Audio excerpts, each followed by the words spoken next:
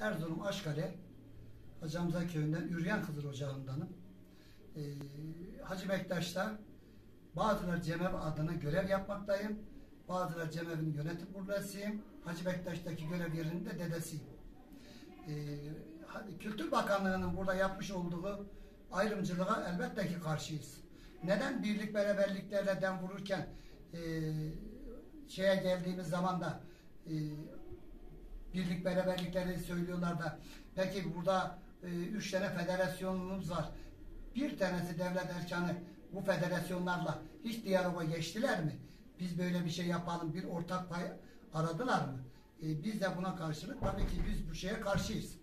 E, Hacı Bektaş'ta yapmış olduğu e, anma törenlerine karşıyız. Eğer bundan sonra yapılacaksa üç tane federasyonumuz vardır. Ee, birlik beraberlik arıyorsa o federasyonlarla aynı masa etrafında toplanırlar. Ee, anma törenlerini beraber yaparlar. E, Tuncelliyim, Mazgirtliyim, Kupi köylüğündenim. Bu etkinliğe hiç katılmadık.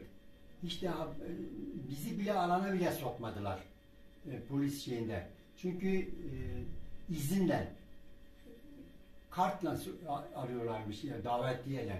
Bizim de davetiyemiz olmadığı halde oralara gezmeye gittik. Bizi içeriye bile almadı. Her taraf polis işgal etmişti. Bizim buralara bile polis yerleştirmişlerdi yani.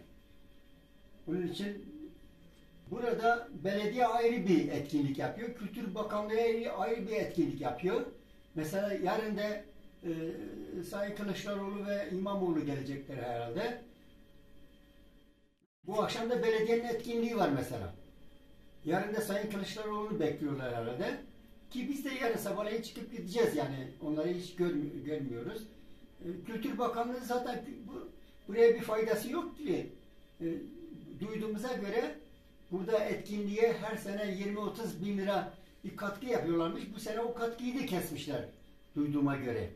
Yani bir katkıları yok. Yok. Bir tek katkısı bakıyorlar işte.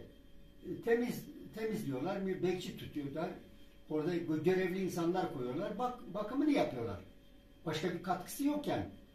Kültür Bakanlığı bir e, bir biz Alevilere e, devlet olarak, hükümet olarak ne katkısı olmuş ki Kültür Bakanı'nın buraya ne katkısı olacak?